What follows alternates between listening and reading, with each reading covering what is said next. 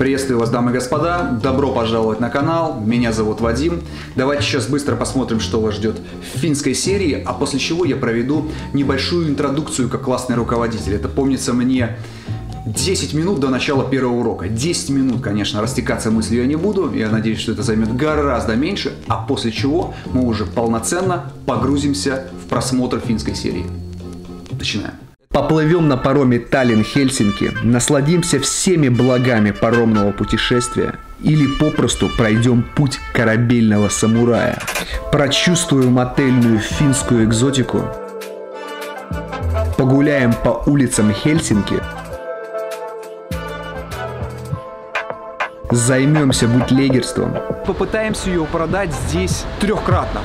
Может быть, у нас это получится. Катюша,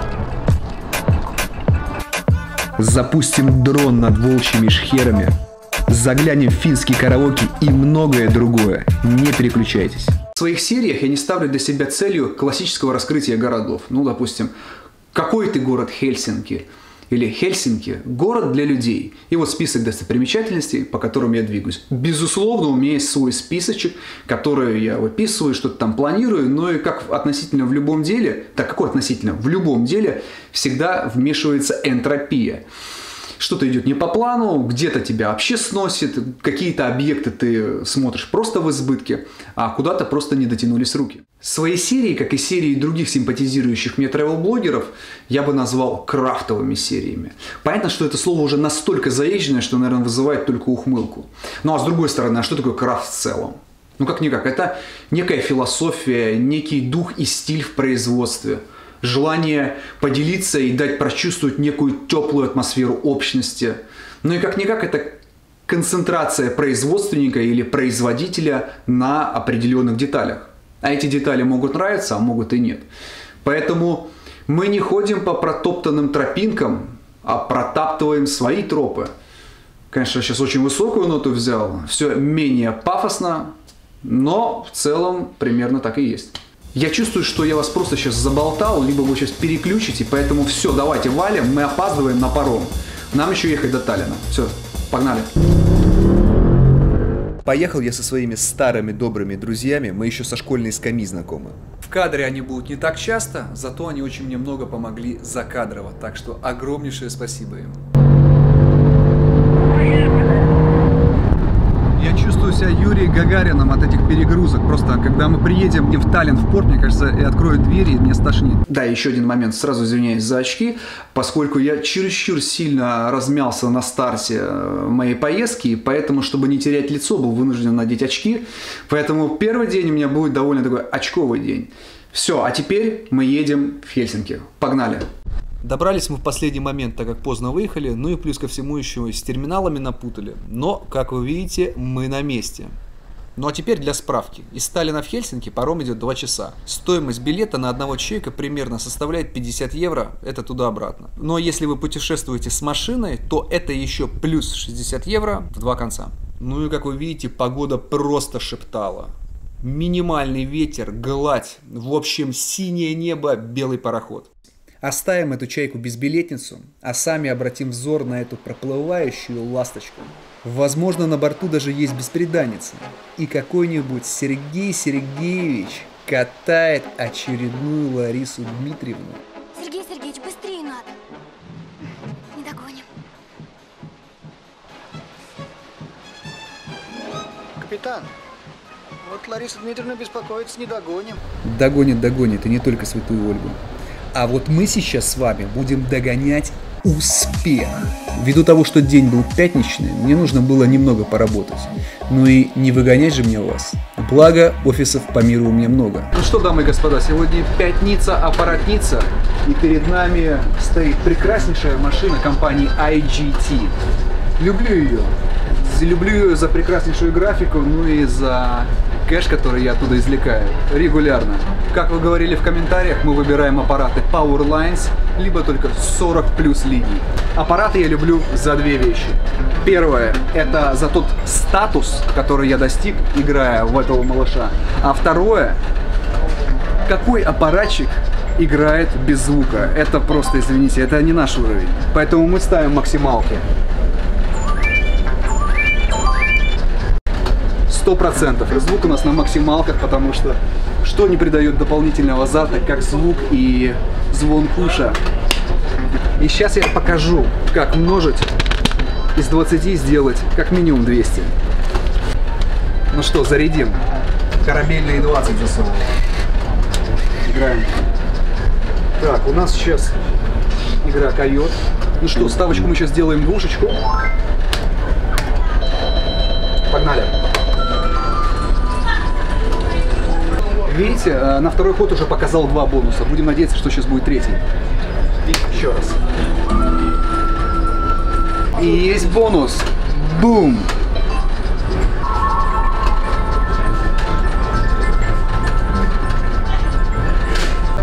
Десять иксов от ставочки. Ну что, пораскручиваем его.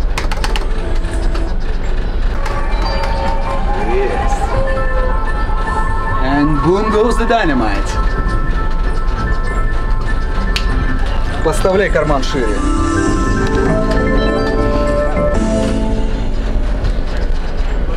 Четыре. Он сейчас даст точно. Блин, там такое пролетело. Сейчас идем на джекпот. Опа. Опа. Но, как говорится, кто не рискует, тот не чувствует вкус победы. Ничего страшного, отыграемся. Блин, пятничная аппаратная сессия закрылась в красной зоне. Блицшейкелинга не вышло. Второй человек готовый здесь поменять... Нет. Расстроившись и обмельчав на двадцатку, захотелось запить эту горечь поражения. Поэтому срочно в бар. Пока мы стояли в очереди у барной стойки, нас заприметила барменша или барвуменша. Возможно, сейчас будет очень милое интервью, подумала она. Но все оказалось куда циничнее. И немножко сушит, и поэтому хотелось бы немножко смочить горло. Такой расклад. А, сиди, сука. Сиди, сука. Сиди, сука.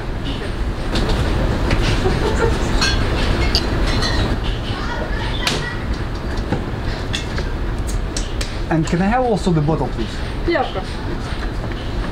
И нет, я не охуел так общаться. Дело в том, что в Эстонии есть пиво под названием Сиди Сука. Пишется слитно, что в переводе обозначает шелковые челки. Ну вот, собственно, мне захотелось попить пиво с одноименным названием.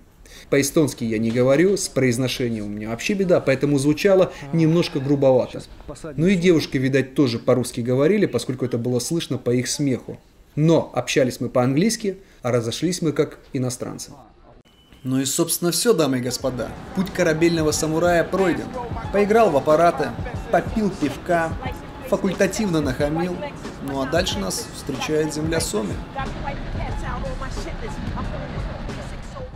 Ну, как вы видите, день прекрасный, солнечный, яркий, трафика практически нет. В общем, первый наш чекпоинт – это отель.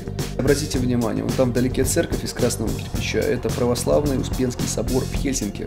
Одна из точек, где чаще обычного слышна русская речь.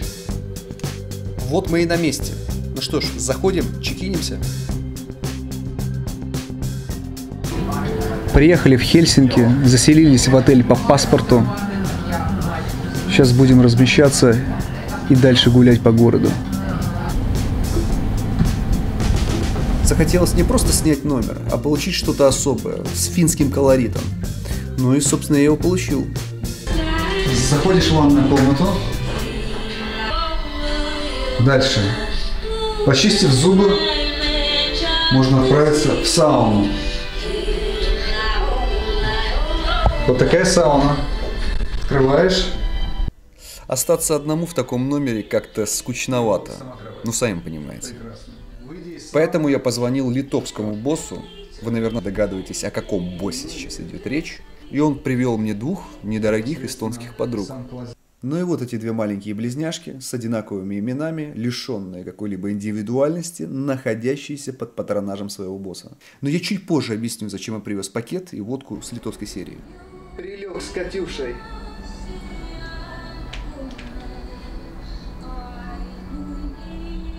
Начав прогуливаться по городу, мы увидели довольно странную картину.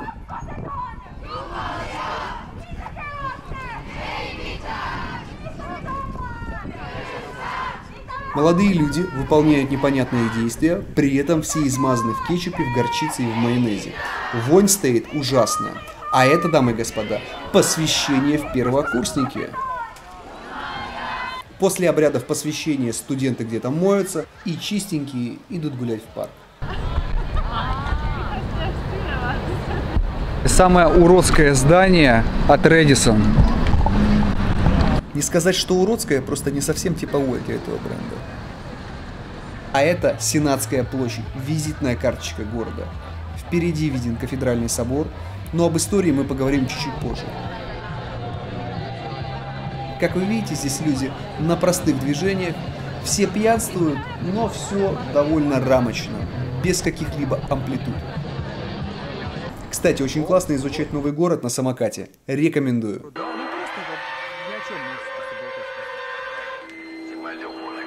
Сейчас на самокатах изучаем Хельсинки и остановились в таком месте, где хочется напеть To all the killers with the hundred dollar billers For real dealers and they got no fillers Check it out now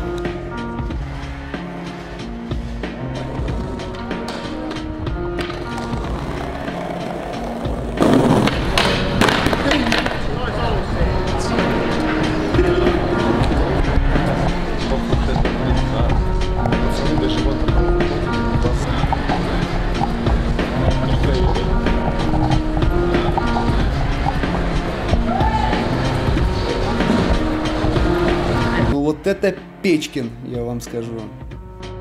Сейчас зашли в местный, сейчас зашли в местный ресторан, заказали традиционную кухню, принесли блюдо из оленины э, и очень интересное блюдо из огурцов. Вот это оленина, вот это пюре, вот это ягоды. Ну, в принципе, принесли примерно так, как выглядит и сейчас. А вот традиционное финское блюдо. Соленый огурец, мед и сметана. И для лучшего усваивания пищи мы запили это пивком и пошли в караоке. Как вы видите, два пива стоят 14 евро. Вообще, где это видано? Наверное, только в Норвегии. Что удивило, Финн вышел спеть песню не один, а с группой поддержки. Две подруги поддерживали его как могли. Я сперва думал, что это какие-то аниматорши, но нет, это оказалась просто дружная компания. Вот этой девушке во время пробежки не хватало в руках какого-нибудь знамени. Вот тогда было бы все полностью гармонично.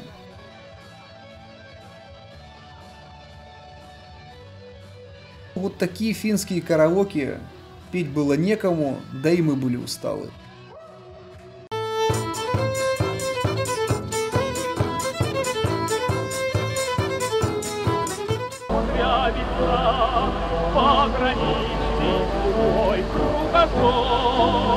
Принимай нас, Соми, красавица! Но, увы, данная песня была написана для красноармейцев, которые должны были тщеславно идти по улицам Хельсинки, чеканя шаг. Но всему этому воспрепятствовал один человек.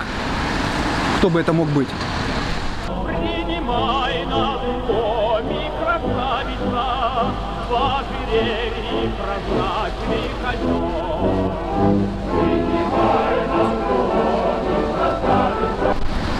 Маршал Маннергейм воспрепятствовал этому в зимней войне, и Финляндия отстояла право на свою независимость. Так что в 1940 году исполнение этой песни в широкие массы было приостановлено. Вот такой облом, дамы и господа.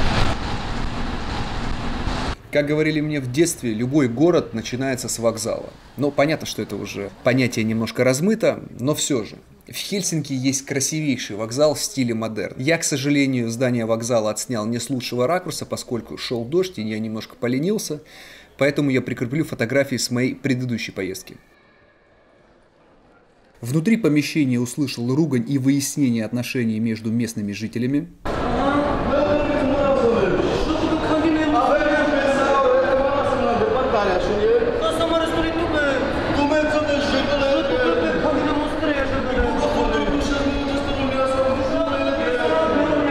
Вот это и вправду горячие финские парни.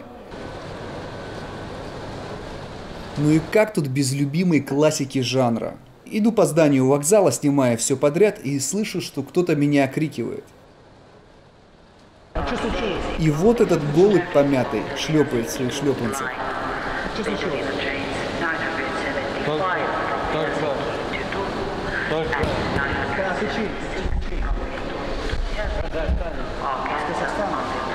Алматы? Да. Или э, Караганда? Чем, чем, Чемкеса области. А что здесь делаешь? Дом, живу. Напился? Да, да. Че, зачем? Э, Сколько нужно? Да. А ты фин? И- О, Конечно. Сколько нужно? 20 20 чего? Евро. 20 евро? Ну, у вас так нормально, да? Это принято? Ну,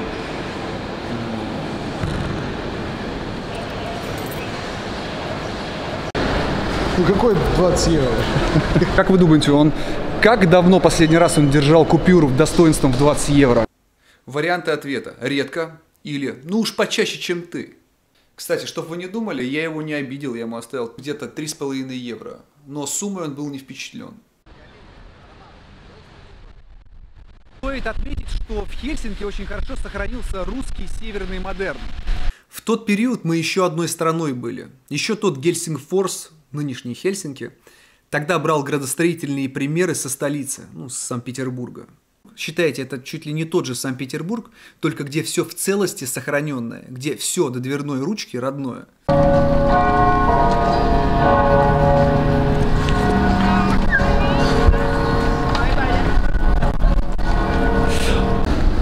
Александр II. Кто он? Захватчик или освободитель? Диктатор или национальный лидер? Меценат или, может, просто вор? Кто он? Сзади меня находится памятник Александру II. Э, Он был воздвигнут в 1894 году в честь э, восстановления финского парламентаризма. И здесь очень чтят и берегут память Александру II, человеку, отменившему крепостное право. Было, типа, как будто, знаешь, типа, а, особенно это удобно. Финское шерстяное мыло. Очень хорошо для тех парней, которые находятся в местах не столь отдаленных, зоны, лагеря, тюрьмы. Когда идешь в коллективную душевую, никогда не выпадет из твоих ладошек. Возьму несколько образцов и один из них, возможно, разыграю.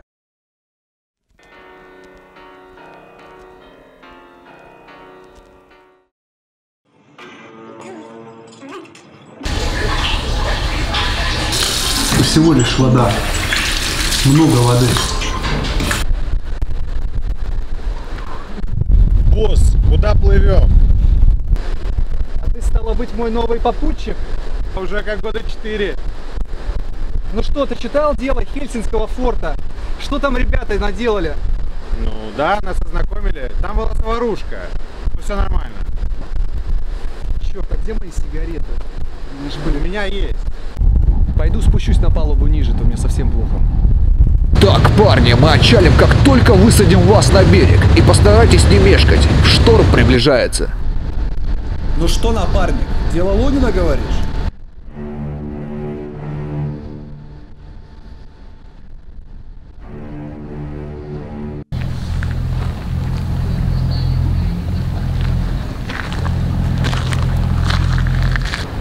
Михаил Лунин. Михаил Лунин, декабрист. Говорят, что он проживал здесь, в Волчьих Шхерах. Ты читал этот отчет? Excuse me, do you know uh, Mikhail Lunin? Mikhail Lunin, we're looking for Mikhail Lunin. Uh, he was at the fortress here. Mikhail Lunin. Right, thanks. Appreciate. Know who's Mikhail Lunin? No, You don't know it? no. Thank you. Ты правила волчьих шхер читал? Там говорят, надо сдать оружие и полностью следовать их протоколу.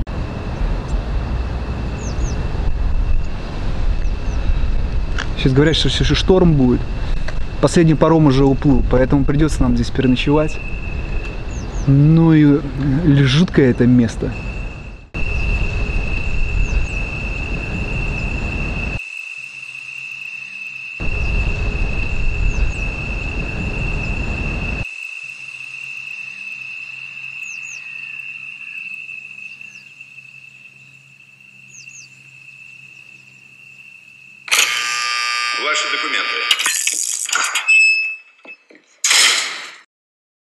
Ну что, дамы и господа, узнали, что за фильм? Теперь небольшие уточнения по моему голливудскому фильму.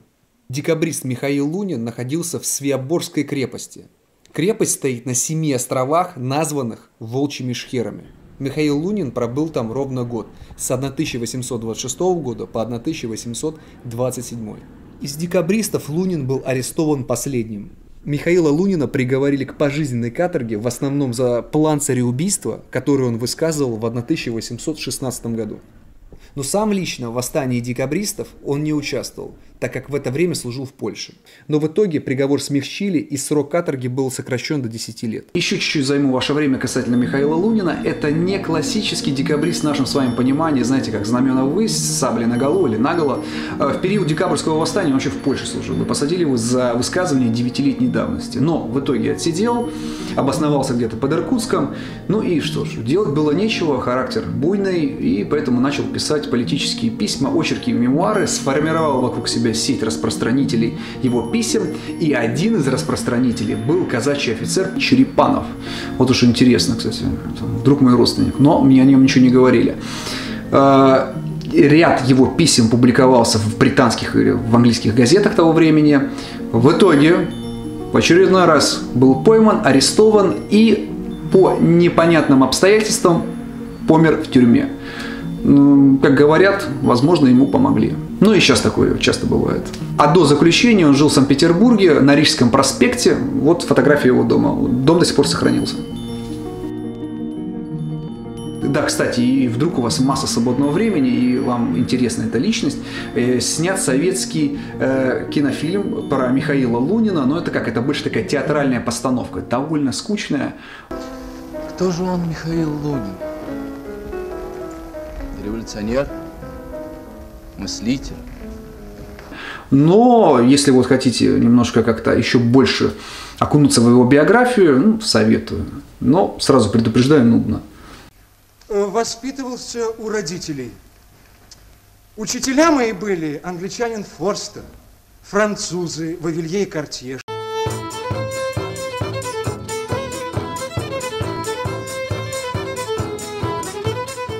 Здравствуйте, дачники, здравствуйте, дачницы, летние маневры уж давно начались. Гей, письма моя, любимая, цок-цок-цок-цок-цокая, идет Драгунский полк. Чем мне нравится Финляндии, это сохранившаяся дачная культура конца 19 века. До родной доски все сохранилось и поддерживается в том родном стиле, как это было когда-то, больше ста лет назад.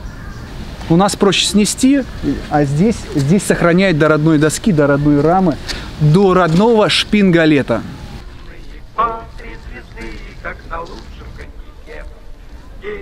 Моя, любить моя, руки похоть а бурные и слова С 1809 по 1917 год данная территория входила в состав Российской империи.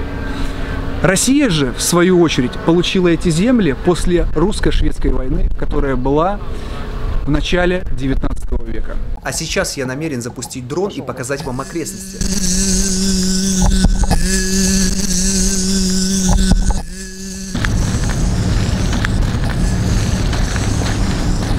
Черт, он что-то не так высоко летит. Это его максимальная высота.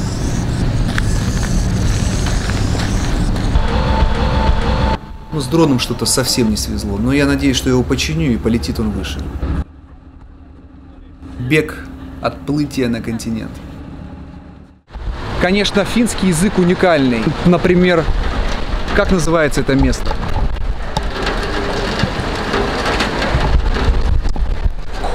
Кукакаупа. Но чтобы это произнести, мне кажется, необходимо себе небо выломать. Возможно, все вы помните э, первую серию про Литву, про те синие снаряды. Так вот, один из них я привез сюда. Я слышал, что здесь очень дорогие цены на спиртные напитки, а в особенности на 40-градусные. Поэтому коммерция. Приезжаем сюда с водкой, купленной за 4 евро, за 5, и попытаемся ее продать здесь трехкратно. Может быть, у нас это получится. Найдем клиента, но, в принципе, по большому счету, на ловца и зверь бежит. Катюша у нас в фирменном стильном пакете. Сейчас мы на крылья вдохновения немножко перекусим и дальше займемся коммерцией. А вот и клиентура. Прекрасная дружная компания. Ну, то, что нужно. Идеальный компромисс. По огромной глупости мы завернули за угол, чтобы выработать план и обсудить, так сказать, price-performance. А тут удар ниже пояса. Нагрянули легавые. А делов-то было на минуту, ну ведь успели бы. Дальше потыкались, поспрашивали, было много отказов. В общем, как-то не заладилось у нас в Хельсинки с бутлегерством. Но утро заключительного дня нашего пребывания в Хельсинки нам благоволило. Вот дичь, охотнику лишь осталось ее подстрелить. Hey man, uh, do you know where I could sell this vodka? This, this vodka. Катюша. This what? Yes. You want to uh, sell it? Yes. You know, I would, I would buy it if I had some money. But you don't have money, right? Yeah, I'm broke. Oh, what happened? I'm broke. Okay, so. Uh, И тут осечка. uh, I give you vodka. I give you vodka. And. um, В общем, покупатель оказался неплатежеспособным. Ну, в любом случае, я ему отдал эту бутылку водки. Пусть она его немножко соберет, поставит на ноги, чтобы он еще заряженный ходил весь день. Но взамен я попросил у него о небольшом одолжении, которое он мне, в принципе, оказал.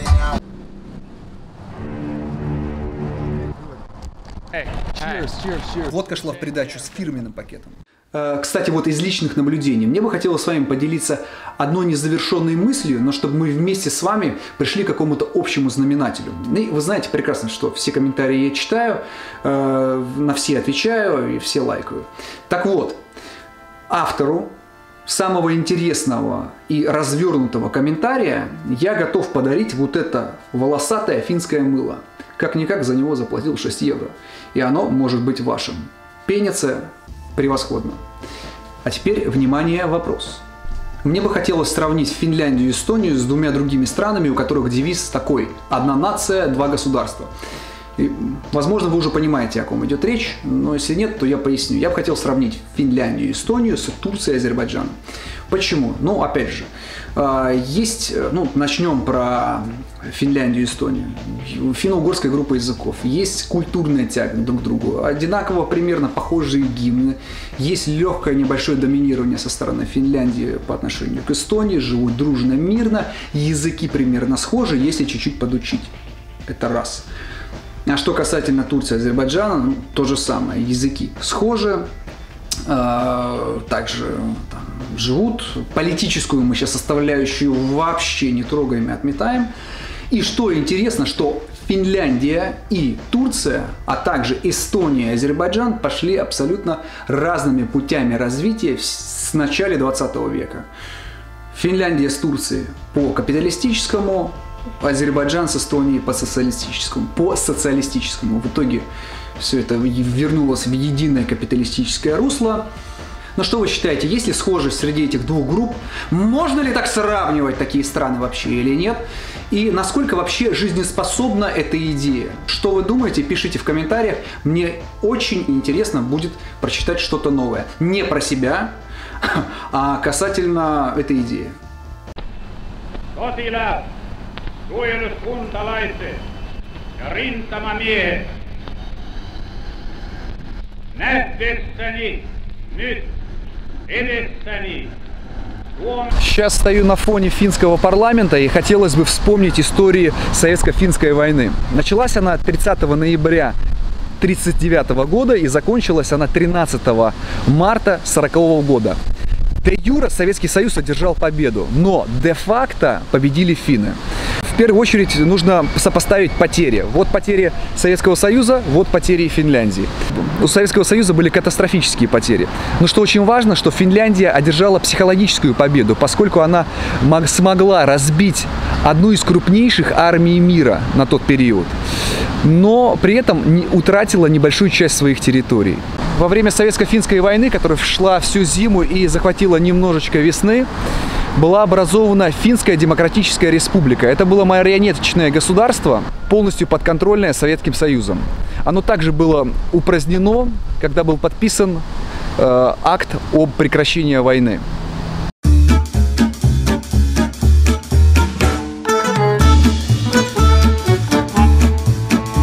Кстати, коктейль Молотова был придуман финнами во время Зимней войны. И назван он был в честь министра иностранных дел Вячеслава Молотова. Еще финны его называют коктейль для Молотова. Что такое коктейль Молотова? Это стеклянная бутылка с фитильком и с зажигательной смесью. Ну что ж, вот и конец финской серии. Надеюсь, она вам понравилась, вы что-то подчеркнули для себя новое или, возможно, вспомнили хорошо забытое старое. Попрошу вас как минимум две вещи.